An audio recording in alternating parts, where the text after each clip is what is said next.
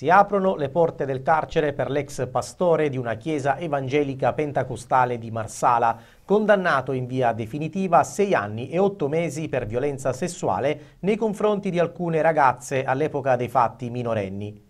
L'uomo, che deve scontare un residuo pena di cinque anni e mezzo su provvedimento restrittivo emesso dalla Procura Generale presso la Corte di Appello di Palermo, non era reperibile presso il proprio domicilio. I carabinieri di Trapani hanno pertanto avviato una mirata attività per rintracciarlo e grazie anche alla collaborazione di alcuni cittadini sono riusciti a localizzarlo nel quartiere popolare trapanese Fontanelle. I carabinieri, nella serata del 9 marzo, hanno fatto scattare il blitz e l'hanno bloccato. L'uomo deve scontare la propria pena per abusi sessuali commessi su alcune giovani che frequentavano il luogo di culto.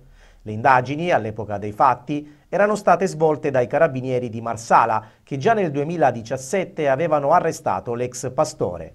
L'uomo, oggi 72enne, abusando dell'autorità derivante dal proprio ruolo di guida religiosa, in reiterate occasioni, durante momenti di preghiera, costringeva le vittime a subire atti sessuali convincendole che così si sarebbero liberate dagli spiriti maligni che le possedevano.